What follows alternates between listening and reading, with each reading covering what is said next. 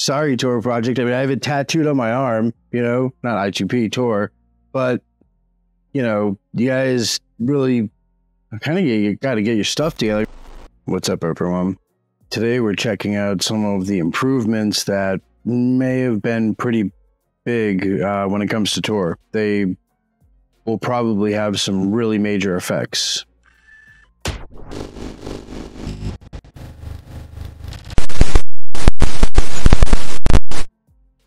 Tor, which just we all know is the backbone of one of the biggest darknets, has rolled out a new update, which is version 0.4.8.1 alpha. For those of you who didn't know, yes, there are multiple darknets, and Tor is just one of them, but definitely one of the biggest ones. No doubt there are a bunch of you right now that are thinking, updates really is sam getting low on ideas for content or something. And let me tell you these are your typical you know nonsensical make the logo bigger updates. But you know if i if i did this full time like youtube i still couldn't cover the amount of incredible things that are occurring on a regular basis inside our subculture in terms of both the darknet and the tech space. So, no, these updates are like more about your journey into the darknet being more secure, stable, and efficient. So, let's break it down. So, first up, let's talk about the stuff that got the axe. Uh, at least two things were removed from Tor and not to worry, they were obsolete anyways. You're not going to actually miss them. The first was RendPostPeriod option. And I know it's a massive loss to us all. And actually, this option mainly was used for version two of Onion services, which, as many of you know, are now depreciated and not removed, anyways. So, this isn't a change that you're actually really even going to notice.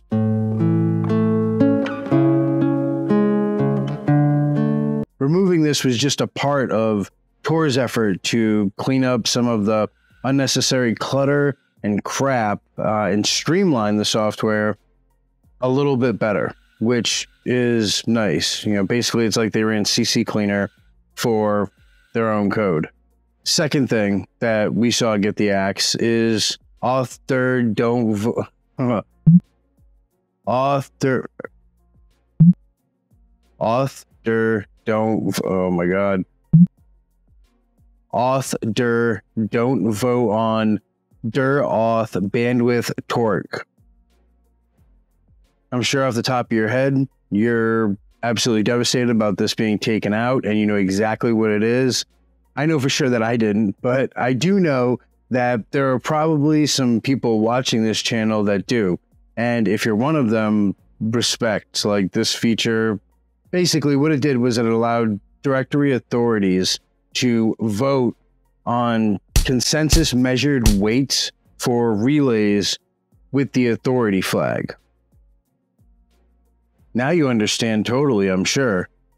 That said, it didn't work as intended and potentially detracted from the rules of the directory authorities. Removing this option helps prioritize the essential functions of the directory authorities and streamlined the operation of the Tor network in general. Now that we've covered what was taken out, uh, as long as I didn't miss anything, uh, which I probably did, um, let's cover what was actually fixed. And we have a couple of really big bug fixes addressing an issue with circuit management. And to put this in simple terms, every time you use Tor, essentially your connection takes a kind of convoluted route through different servers or nodes. And this detour is what we call a circuit. But sometimes, due to various reasons, the establishment of these circuits fails.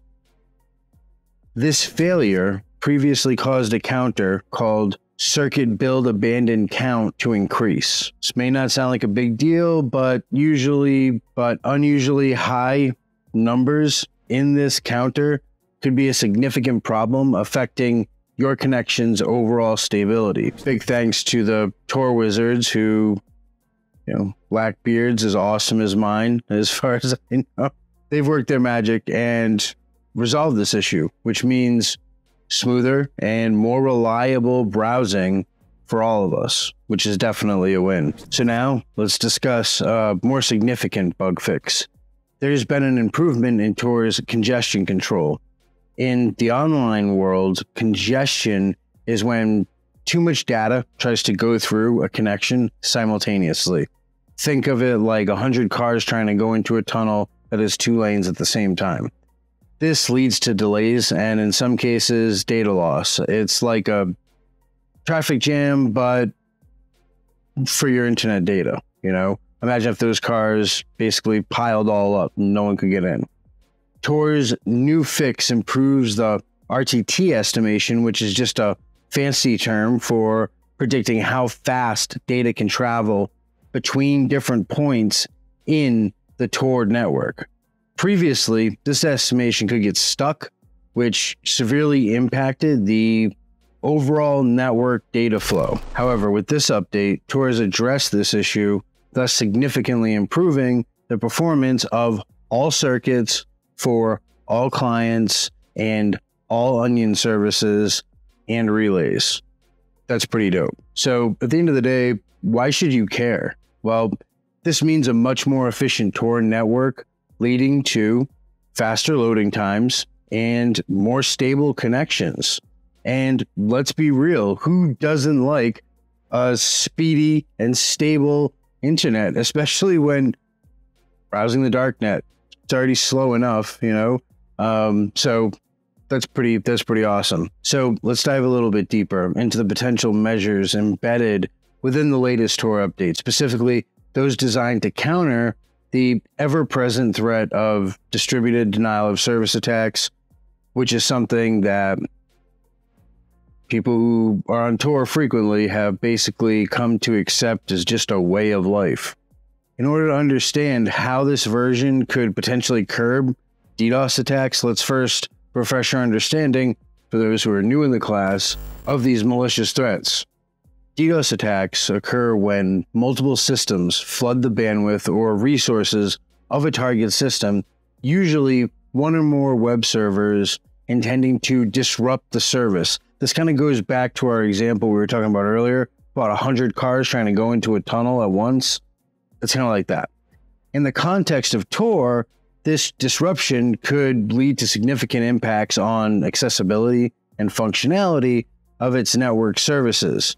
So that's one of the things that we've seen repeatedly for the last, you know, five years at least minimum. Um, is is these massive DDoS attacks. And from the stuff that we gathered from Hugbunter, it's someone who's basically extorting sites, trying to get, you know, money for you having your site up. But in any case, let's dive into, you know, what potential reinforcements to Tor's defenses have been built up in this release. Uh, noteworthy starting point is the major bug fix associated with congestion control. And this isn't the one we mentioned earlier. This is a different one. In networking, again, this refers to the mechanism that prevents too much data from being sent over the network, causing it to overload. This is pretty much the definition of, of a DDoS attack, except it's distributed between a bunch of different computers. And it's a critical tool that it's a critical tool to defend against DDoS attacks, which aim to flood the network with traffic. This fix implements explicitly RFC 3742, known as Limited Slow Start. This fix ensures the congestion window, which controls how much data can be in transit on the network, grows more carefully during the slow start phase. It dampens the exponential growth of the congestion window when it grows beyond a specific limit. This careful growth of congestion window, particularly during the start, can potentially prevent an overload that could arise from the sudden flood of data, a key characteristic of a denial of service attack. again, it's like seeing those 100 cars try going into that two lane tunnel. In addition to that, the update includes a bug fix to avoid increasing congestion window when it's not fully utilized. This adjustment essentially prevents overshoot where periods of low activity allow the congestion window to grow excessively, followed by a burst of data that causes an overload. By managing the congestion window more effectively and efficiently, this update then reduces the likelihood of the network being overwhelmed by a sudden surge in traffic. Do you see how this can definitely help with things like distributed denial of service attacks? That, I mean, this is it's kind of the definition of them, except for multiple computers. The update also provides a more minor but equally important bug fix an underflow check in congestion control that prevents a large congestion window from being calculated instead of a small one in specific cases that prevents a large congestion window from being calculated instead of a small one in specific cases. This check could add an extra layer of defense against a sudden influx of non data controlled. Another notable mention in the major bug fix categories is concerning vanguards. Vanguards a mechanism introduced in Proposal 333 of the Tor project to protect against guard discovery and related traffic analysis attacks.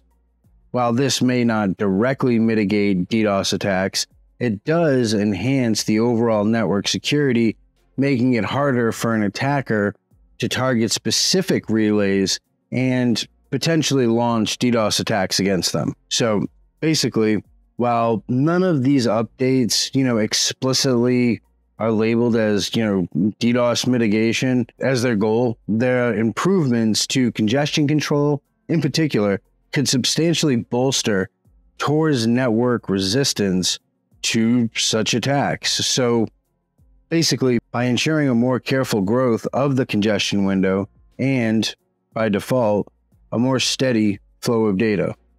Tor helps maintain its service availability even in the face of these potential DDoS threats, which again have been going on for years. These changes underline Tor's ongoing commitment to safeguard user privacy and security, making it a preferred choice for a good amount of people that are seeking anonymity online. And that said, I'm I'm I don't know, man. Like I'm kind of I'm kind of at the point where I'm for I2P. I mean, sorry, Tor Project. I mean, I have it tattooed on my arm. You know, not I2P Tor, but you know, you guys really kind of you got to get your stuff together. I mean, you get you know gets end to end encryption. You know, it's not just inside of the three nodes that are in the interior. Like you know, maybe stop taking government grants. You know, it's, it's a majority of the money that they get. Also, make it so that communication isn't just on a one way circuit. You know, like I2P, it, it doesn't just go out and come back on the same nodes, it splits up. So it's a twice as many nodes to get the same amount of data. Um, you know, it's just what it is. Um, there's a lot of improvements that Tor could really have that would be highly beneficial for promoting anonymity. But again, please note that while these measures do potentially enhance the network resilience against DDoS attacks, they do not completely eradicate the possibility of such attacks. Like, that's one thing that I really, really want to stress and get across. If someone tells you that they do, they're lying to you. It's a step forward, definitely. Absolutely. I'll give them that. But it's one step forward in an ongoing battle that's lasted for years against these DDoS attacks, which at this point have, you know, been prevalent on Tor, like you said, for almost a half a decade. But as with all cybersecurity measures, it's an ongoing process of, of adaptation. And one thing is for certain as long as there's a darknet, there will be people trying to attack on it, through it, and with it. So definitely drop me a line and let me know what your thoughts are on all this stuff. I really love your feedback. I love hearing what you have to say in the comments. I learn a lot from the comment section. So please drop a comment and I will see you guys in the next video.